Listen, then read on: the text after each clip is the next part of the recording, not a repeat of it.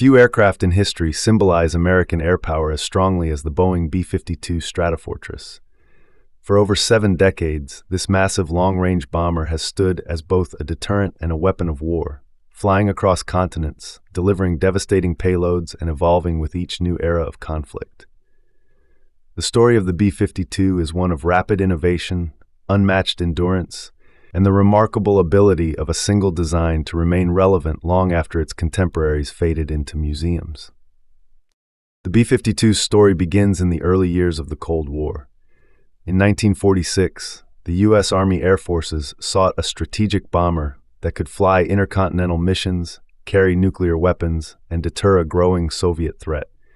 Boeing engineers went through several design iterations, beginning with propeller driven concepts before ultimately turning to the revolutionary jet age. By 1948, the design team, led by Ed